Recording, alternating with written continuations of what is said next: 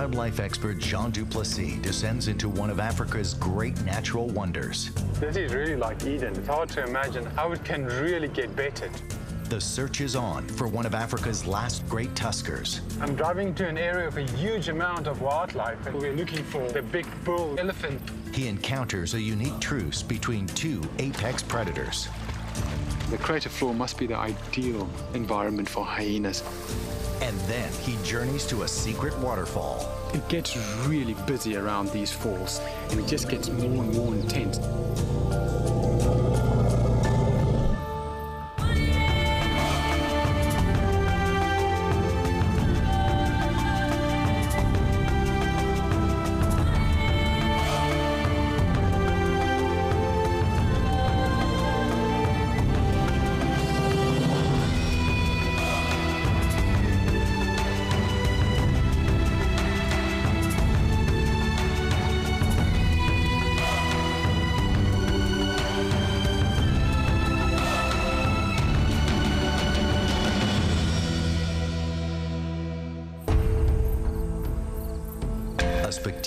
Wildlife ecosystem is not something that happens by chance.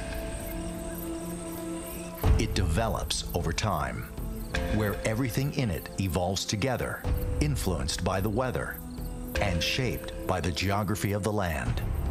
When these two elements work in harmony, the results can be spectacular. One of the best examples of this is in northern Tanzania.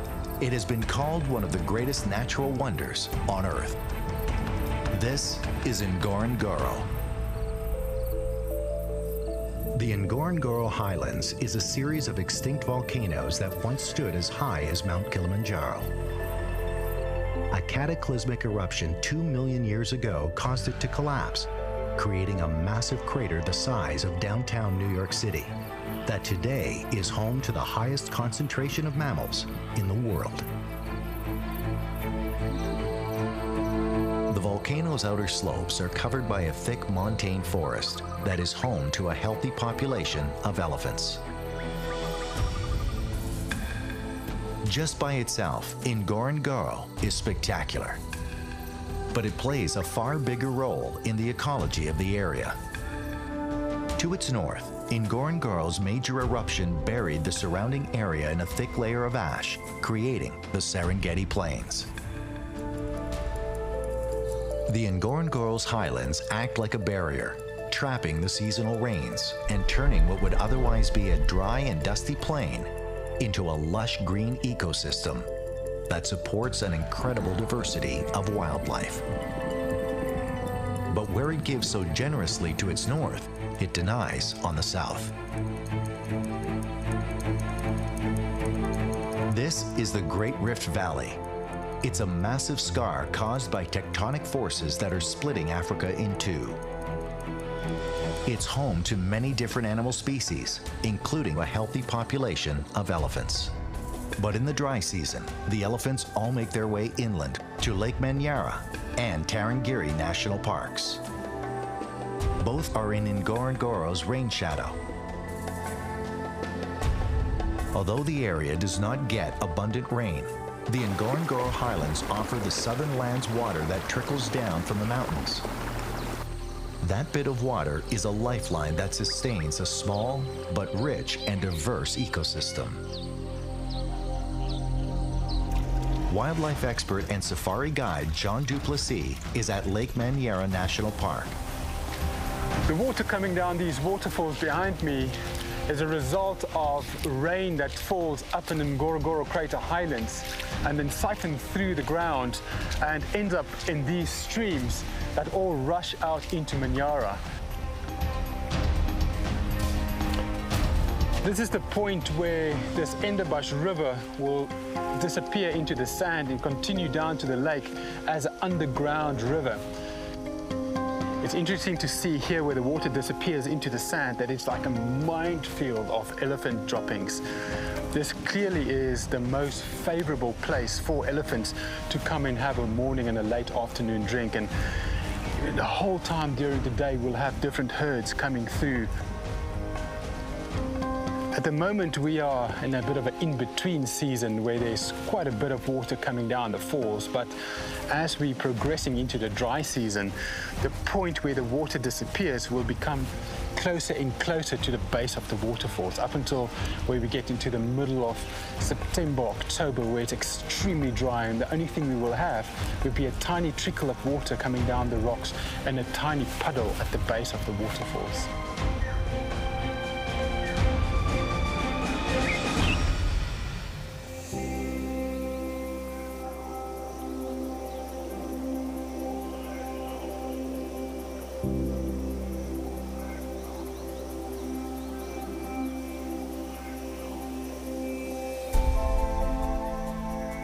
It's now September and well into the dry season. The rains in the Ngorongoro highlands have stopped and the waterfalls have been reduced to a trickle.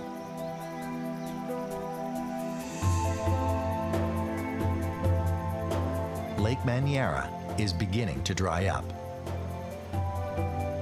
Those falls become very important to wildlife in the park. This is more than likely a small group that came in here early evening to drink. Um, there's, there's lots of signs of tracks all over the place, which uh, tells me that different groups of elephants came in here during the evening. The water here must be some of the only water remaining in this Rift Valley system. Gets really busy around these falls uh, towards sunset, and where you have herds from all across this area meeting here. And elephants don't generally do well with such a large congregation of different family groups. There's a lot of tension and stress, and it just gets more and more intense as the season gets dry. It can create quite a stressful situation for elephants. Very loud, very sensory.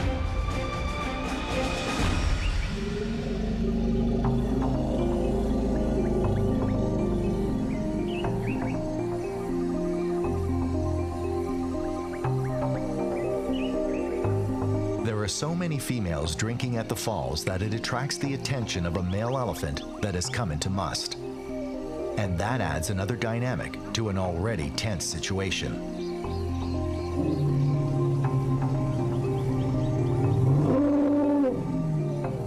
Musth is a periodic condition that signals the elephant's intent to mate. Their behavior becomes erratic, even dangerous.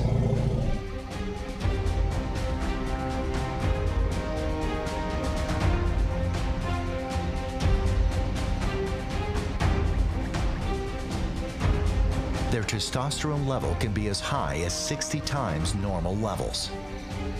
Even the most placid male becomes territorial and aggressive.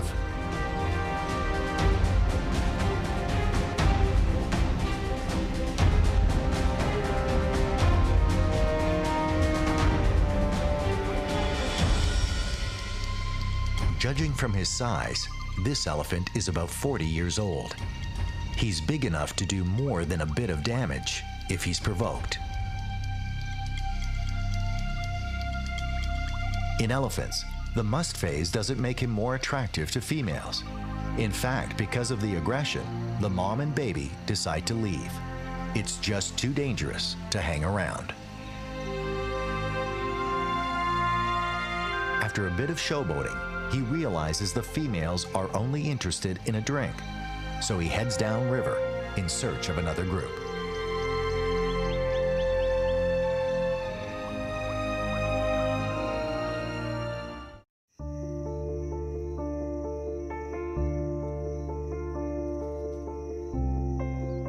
It's now October in Tanzania's Rift Valley, and it's several months into the dry season. Wildlife expert and safari guide Jean Duplessis has moved on to Tarangire National Park. Several months without rain has caused many of the park's rivers to dry up. This is life in the rain shadow of the Ngorongoro Highlands. No rain will fall now for months, and the wildlife that lives in the area all pull in closer to the base of the highlands, where the few lakes and rivers are fed by water that trickles down from above. This river is the lifeline of Tarangire National Park and especially now during the dry season when the surrounding areas are extremely dry it's like a magnet pulling in all sorts of animals and especially herds of elephants into the river. And what will generally happen would be in the early mornings, a family group like this would move into the river and have a drink, only to start to move out about now into the higher lying areas where there's more shade and cover, and then come back again late afternoon for another drink. Elephants have an extremely well-developed sense of smell. They can smell sources of water that are several miles away, and also water that is running below ground. Although there might be a little bit of surface water on the river right now, for most of the year, this river actually flows subterraneously. Elephants have evolved this great way to allow constant access to the water by digging big holes. I'm going to just do a little dig here to see how deep the water actually is. And the deeper you go, you eventually start to access water. This time of year, an elephant does not need to work hard at all, but as the season dries out, they will have to dig bigger and bigger holes.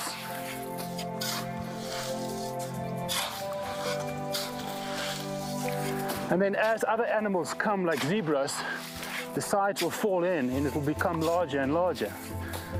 So eventually to have quite a nice pond and the water is a little bit dusty now, but in a few minutes, this water, the dust will settle and it will be very clear.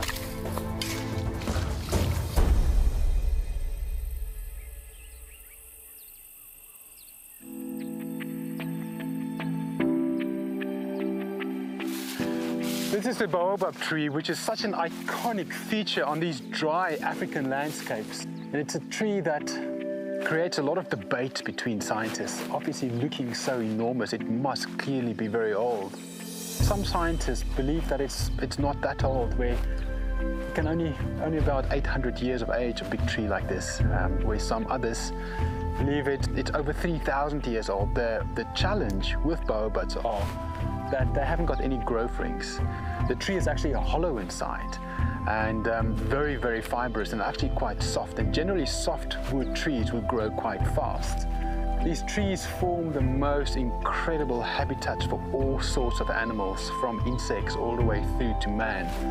And um, it's commonly known that these hollow insides of baobabs have formed houses, hides, and even shops to some human communities. Out here in Tarangire National Park, where this is probably one of the most common features of the park, it's home to baboons, leopards, uh, quite commonly occupied by an owl.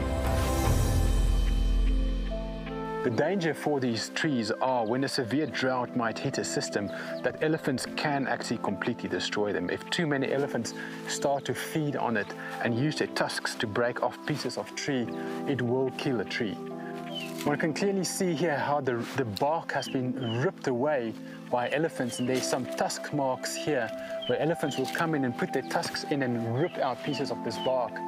Almost all other trees when the bark is stripped completely around the tree will die because nutrients cannot move up and down anymore. But baobabs are completely different where it's not dependent on an outside bark. These trees will continue to survive and that's a great feat to survive in an environment full of elephants.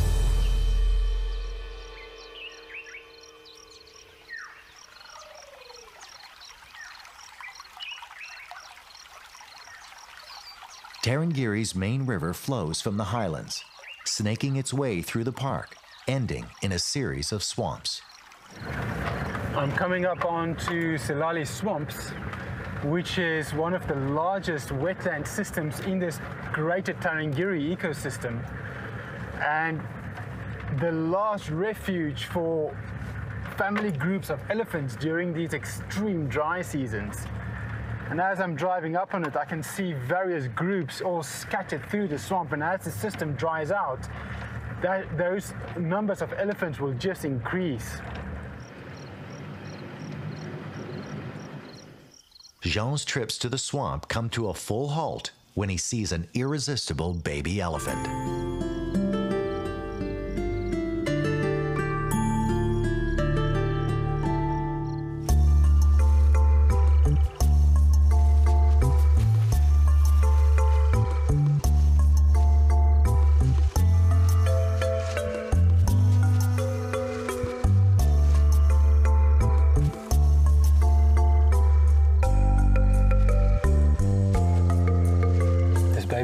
Having a good time thrashing around in the water.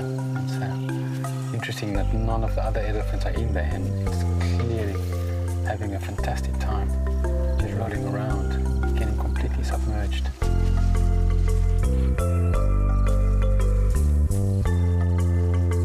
It's a really young baby, uh, younger than about younger than a year, and um, it's just having an absolute ball.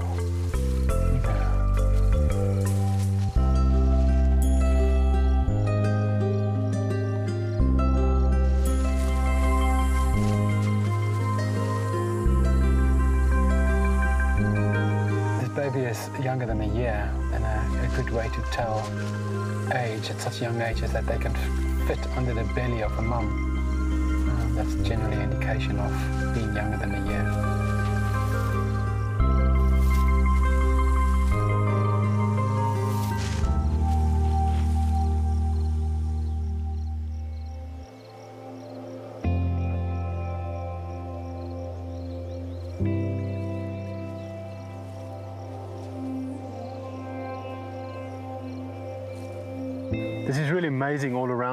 Where there's herds of elephants everywhere, little family groups here. There's a group of 50 right around me, and then all the way through the swamp, there's tiny family groups just making the swamp full of elephants. And it's the younger ones are much more to the shoreline where it's not so deep. But all the way into the center of the swamp, one can see big males standing, and the only thing we can see of them are the ears flapping. And it's really the perfect place for an elephant to be right now. It's a lot to eat and a lot to drink, and it's very safe.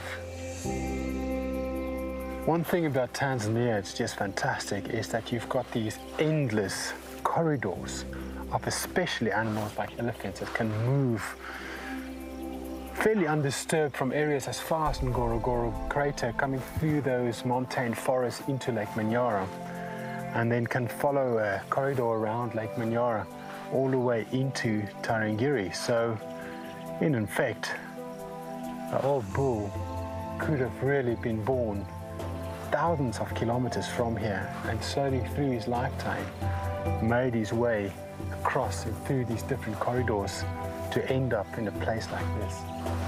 Looking at this swamp with uh, 50 elephants here, another group on the far side, and basically all the way running north, just filled with elephants, it's hard to imagine how elephants can be endangered. Um, but the success of a species is really determined by the availability of an habitat during the dry season. Of course, there's a lot of areas for these elephants to go to when it's wet, but it's the protection of these areas that can give them or can guarantee them survival during the dry seasons. That is very important to look after, and it's these microcosms such as Silale swamps, the crater floor, Serengeti plains, where elephants have a safe haven to go to when conditions get too harsh outside of parks. And uh, harsh can mean many things. You know, in this case, it's dry, no water, but as human populations expand and it becomes harder for elephants to find that safe refuge, this will be where it is into the future.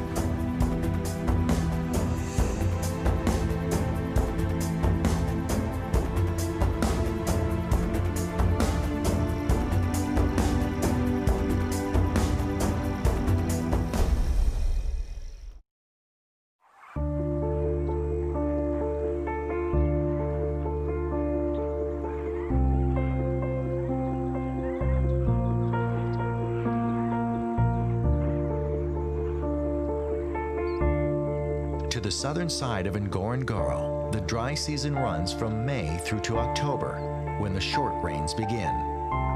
The name doesn't refer to the amount of rain, but rather the season.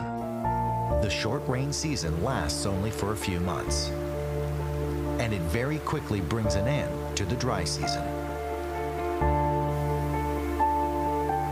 All of last night I could hear loud thunder on top of the escarpment, which clearly indicates massive amount of rain. And this river have a huge catchment area. This morning there was a tiny little trickle coming down the rocks, but now it is steadily increasing to becoming huge currents and I expect this afternoon these rocks will be covered by water coming down off the highlands.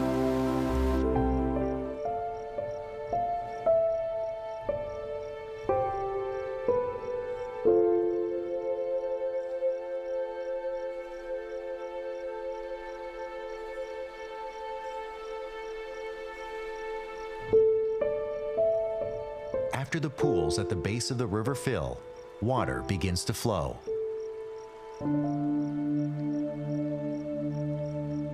At first as a trickle in the sand.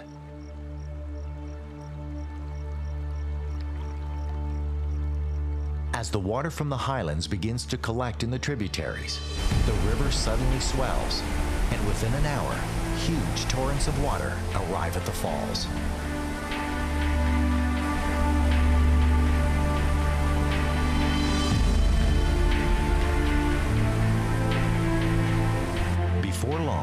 Group of elephants emerges from the forest. They have smelled the water. They know the river is flowing.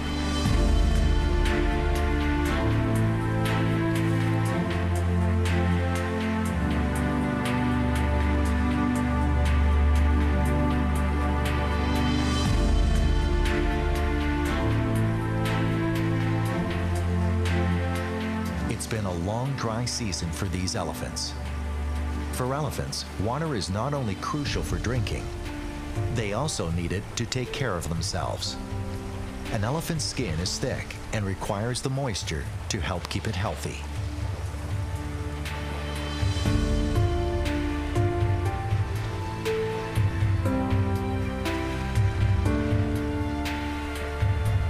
I'm sitting in our Manyara camp and this large group of elephants came down to drink at the river. And literally minutes before they arrived, this river flooded.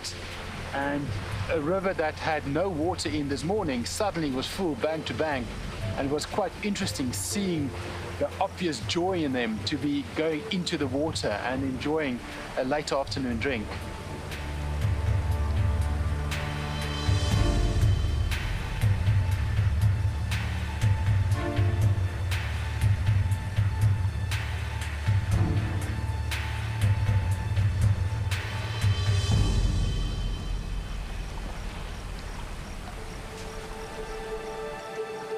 As the water flows, it rejuvenates the land, the trees, and forests that so many other species depend on.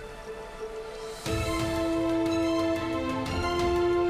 Endabash River is by far the largest river flowing into Lake Manyara.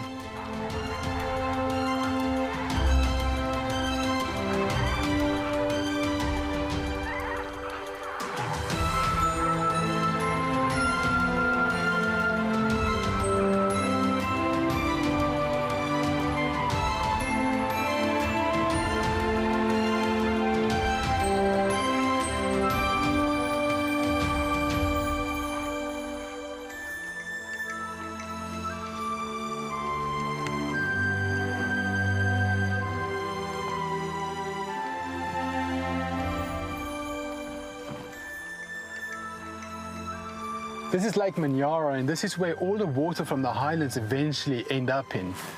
This is a really old lake, estimate about 3 million years old, and it used to be at least five times the size of what it is today. There's no outlet out of Manyara, making it very, very alkaline, very soda, the perfect environment for blue-green algae to live in, which becomes the food of these lesser flamingos. Night, a female with an egg that's nesting in Lake Natron, that's about 100 kilometers north from here, will fly back there to feed her chicks. But in the morning, they will fly back here to come and feed. The species' prime source of food is blue-green algae that only grows in very alkaline lakes. Flamingos have filaments that hang from their beaks, and as they go along the water, the filaments filter out bacteria. The bacteria is what gives flamingos their distinct coloration. Right now, the flamingos are quite far off into the lake, so I'm, I'm going to try and take a canoe and, and get a bit closer to them. However, this lake is very shallow and it, um, I, I might have to push the canoe quite a bit before it will float.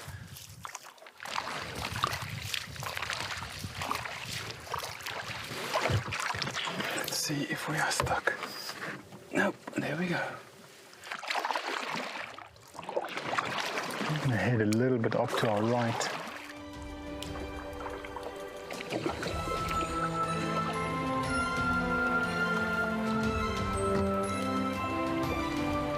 Getting a little bit closer to these flamingos now.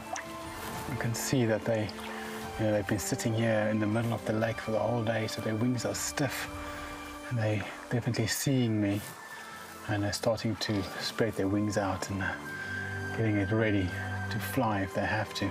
But it's interesting for me that um, they uh, they are all in a band here. Maybe there's a soil change you will find more blue-green algae. So. Uh, just slowly drifting in. They are looking at us into the sun, so we might be able to get slightly closer than what we would being on the other side. They're getting a little bit nervous with us coming closer. These are the lesser flamingos. Their name refers to their size. They're the smallest of the species, but even still have an impressive wingspan.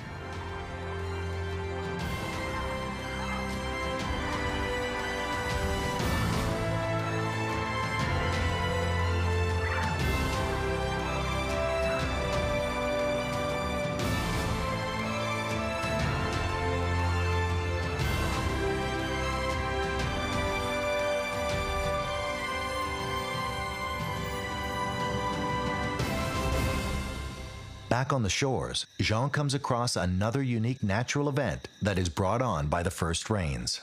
I'm on the shores of Lake Manyara and the sun is setting. And as the sun's going down, one can see this reflection of millions of strands of silk. And um, it's really interesting what it is. It's a newly hatched spiders that's doing something called ballooning. So they, they would climb to the top of a, of a kind of piece of grass and just start to release silk. And as the silk gets longer and longer, eventually the wind just lifts up this entire spider and blows it away. And this is how spiders get distributed all across the world. And uh, a spider like this might end up in a thermal, taking it 50,000 feet into the sky and blowing it to the other side of the planet. It's absolutely everywhere, and it's astonishing that one never sees these spiders, but all around us are millions. There's one right here. And um, tiny spiders that making their, their little bodies into a uh, like a ball and just kind of cruising through the sky.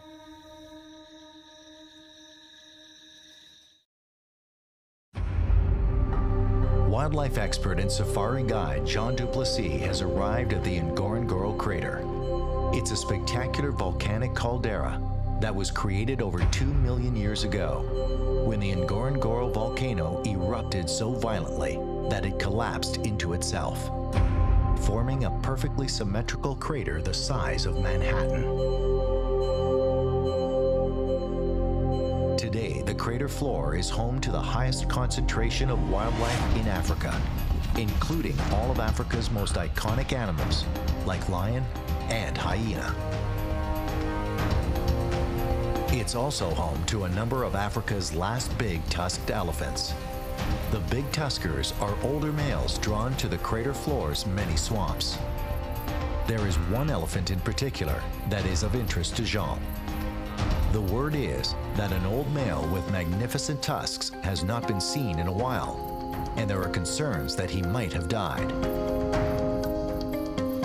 This caldera is such an amazing natural environment and especially for old bull elephants this is like a, a final retreat where they come and live their last days and there's one particular bull that I would love to see. He, um, he's got the most amazing ivory, uh, about 100 pounds a side.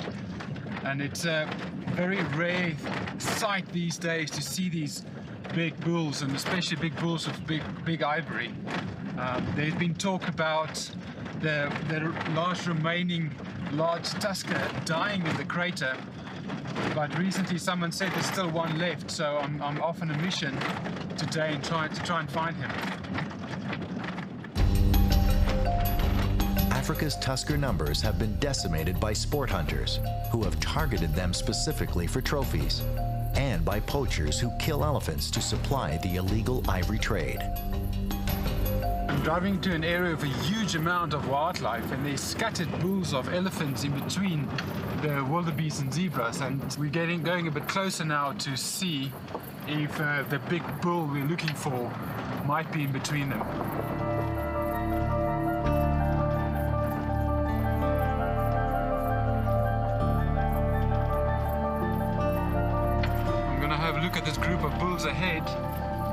There's five or six over here, but quite a few more groups off in the distance, and then some scattered lone males as well. So I'll pull up here and start to scan them a bit, because the best way to see them is to just stop and, and take your time and look through it.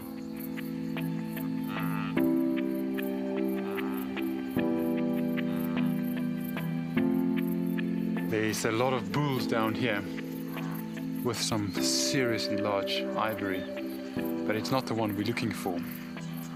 That elephant we're after have ivory that's almost touching the ground and he's struggling to walk. He needs to keep his head up. It's extremely rare to see elephants like that and he likes to hang out in swamps. So uh, we're gonna have to continue and look a bit more. However, these ones have impressive ivory as well. The Ngorongoro crater gives us a glimpse into what parts of wild Africa must have looked like 100 years ago or more. It has largely remained cut off and secluded from human advancement that has decimated wildlife across much of the continent. Jean is heading to an area where small rivers feed several swamps. It's a place he knows he's guaranteed to find old bulls. I'm at one of the major water holes in the crater and we found a great old bull elephant in it. And this is a great example of why elephants kind of make the crater almost like a retirement home. Elephants have six sets of molar teeth through their life and they gradually use those up as they grow old. And when they are between 55 and 60, they've generally used up all of their teeth. So it's very hard for them to live out in the forests and feed on things like bark and twigs and stuff. So they need to come down to places with swamps and soft grass, and the crater floor is perfect for that, with quite a few of these little swamps. Yeah, this guy's having a good old time feeding on some of this water lettuce.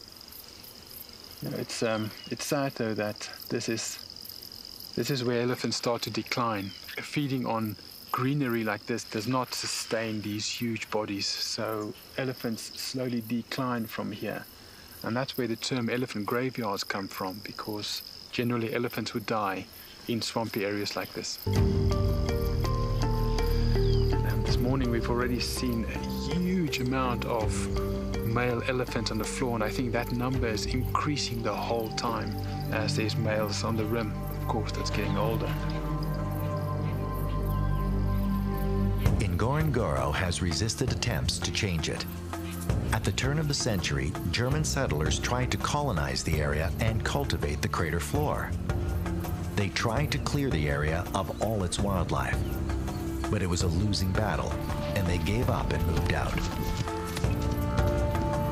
Ironically, it was because of sport hunting that the area ultimately won its conservation status.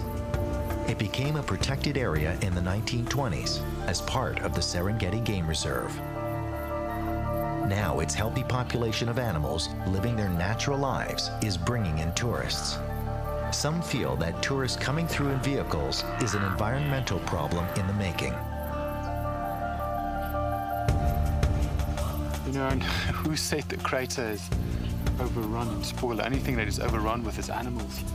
Here in this plain in front of me must be 30,000 animals of 15 different species. Quite an incredible sight. There's very few places in the world where one can witness something like this. Night is starting to fall. Aside from the park rangers, no one is allowed on the crater floor. So Jean will make his way back up to spend the night at Lemala Camp on the crater rim.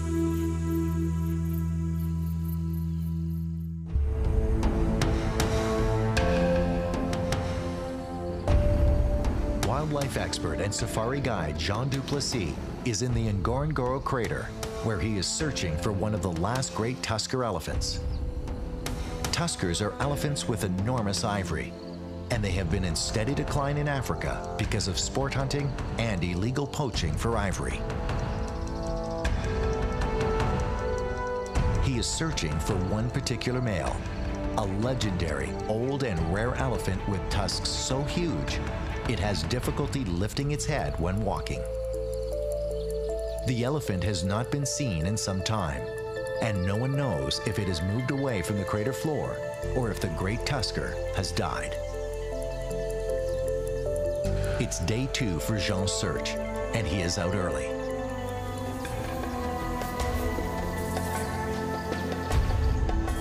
Ngorongoro has a high population of elephants, but they are usually found in the montane forests above there's a breeding herd of elephants on the crater floor, and this is extremely unique. In, in 20 years of working and being on the crater floor, I've never seen females and calves right here on the on the bottom of the floor, sometimes on the edges of the forests. But to see them on the floor is almost unheard of. They are very nervous. They they are running from side to side, and any vehicle starting up and any new noise obviously scares them, and they change direction. It's not an uncommon thing to see elephants on, on open plains like in the Serengeti, but that would be a matriarch that, that knows the area. She's been there many times, and her confidence trickles down to the rest of the herd, making them all feel confident. This is completely the opposite, where they are all nervous, they all have their trunks up the whole time, smelling, trying to take in new scents. This matriarch has never been here. This is going to be a tough day for them, and I hope they eventually find their way to the west of the crater where there's a nice forest with fever trees. So uh, at the moment they're still out on the plains, they've calmed down a little bit, and I think they're also really tired. Jean will keep an eye on this group. Hopefully, they will find their way out.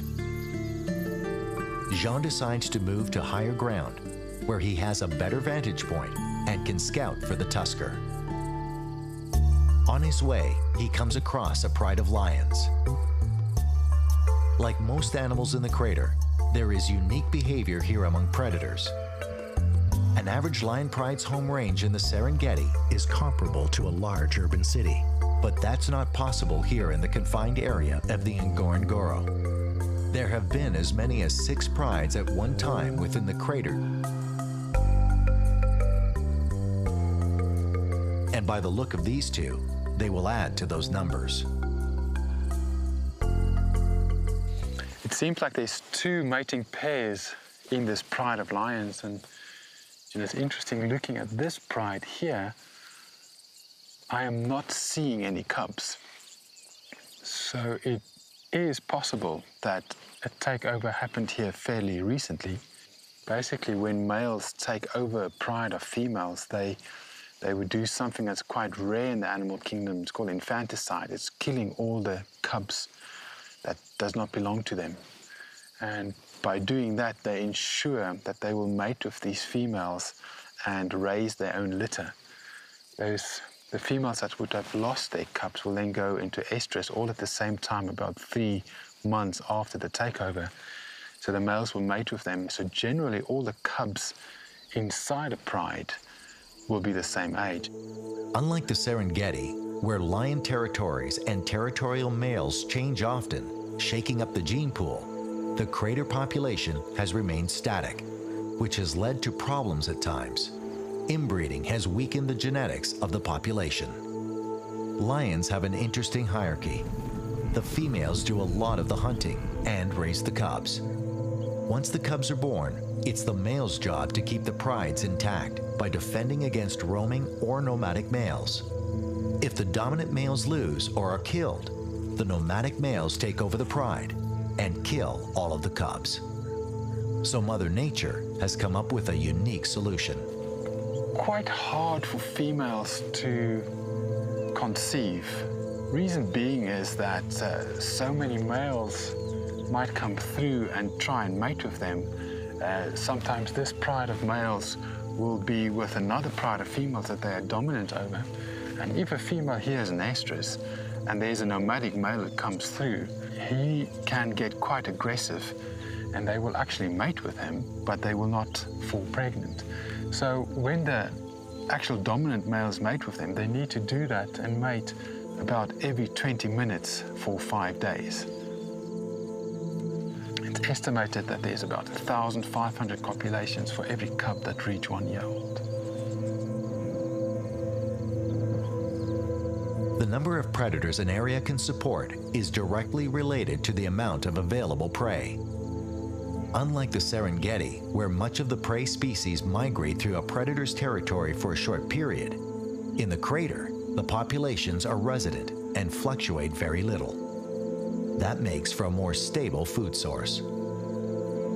Because of the high number of animals, the crater floor can support a large variety of carnivores. There's a really nice pack of hyenas over there. And the crater floor must be the ideal environment for hyenas and certainly one of the most productive hyena environments in Africa. It's actually a misconception that hyenas are these massive scavengers, where here on the crater floor, they would hunt at least 70% of their food themselves. Strange enough, lions will scavenge quite a bit, and quite often one would find lions chasing hyenas off kills that they've made. And the way these hyenas will hunt would be by basically running something tired. They've got such amazing stamina. It's that construction of tall front limbs and short back ones. They've got a very economic gait and they can go for hours. And um, they would find a wildebeest and stick behind it for hours until that wildebeest can't move anymore and then kill it. Looking at the number of hyenas versus lions we've seen over the last couple of days, it's, it's kind of clear to me that the hyenas is winning this race right now.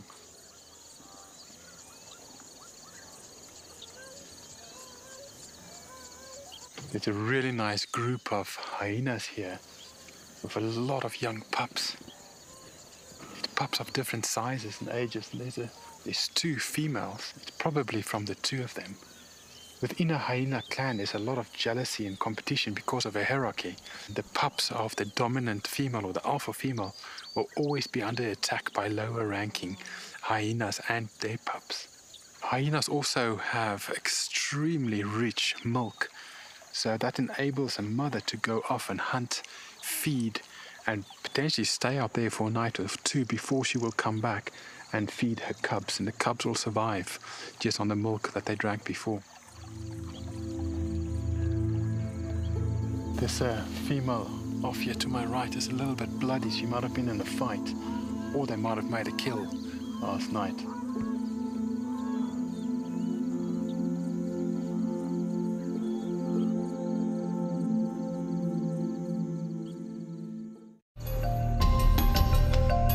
Wildlife expert and safari guide Jean Duplessis is in the spectacular Ngorongoro crater. He's searching for an old tusker elephant that some fear may have died. He's an important animal, one of the last few remaining big tusked elephants that remain in Africa. While Jean has been looking for the elephant, he has come across two of the most prominent predators on the crater floor. As Jean is watching the hyena, several of the animals with blood on their fur head off into the distance. This can only mean one thing. The hyena are feeding on a kill. This is one of the coolest sightings I've seen in many years. It seems like what happened was these two male lions must have chased a buffalo. They didn't quite kill it and it went for refuge in the water and died there.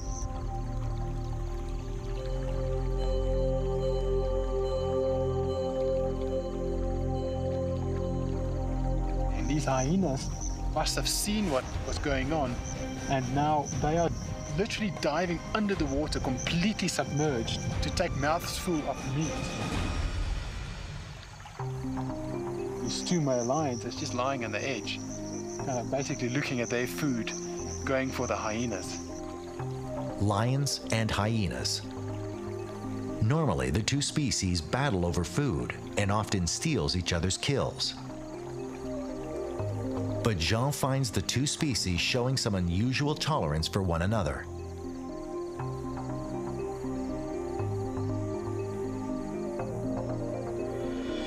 While Jean has been focusing on the situation between the lions and hyenas, something incredible happens.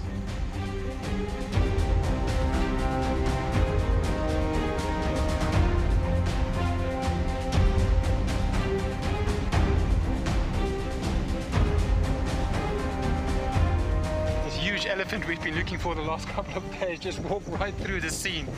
I mean, when in your life have you seen something like this where you have these hyenas in the water, two male lions, and this the biggest elephant in the crater, probably in Africa, walked right through this picture. It's um, it's incredible.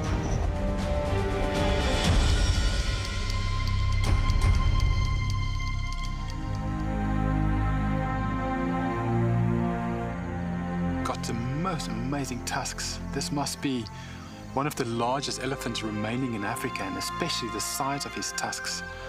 They are well over 120 pounds each, and perfect symmetry. It's um, very, very rare to see an elephant like this, and there must really only be a handful left in Africa. And this is one of the last of a kind. The gene of big tuskers are getting less and less, and it's going to be many years before elephants like this are out in the wild again. The crater is just such a perfect environment and place for these old males to survive and get old. All around the edge of the rim are observation points where rangers are looking into the crater and making sure that no poaching happens. And it's kind of been like this since the early 1900s, and poaching has been really, really under control here on the crater floor allowing huge elephants like this to become old and massive like this. This old elephant may be the last of a dying species. For decades, elephants with large tusks have been killed for their ivory. Scientists believe that with the big tusk gene being eradicated, elephants are now being born with smaller and smaller tusks. And it's possible that one day we may see elephants with no tusks at all.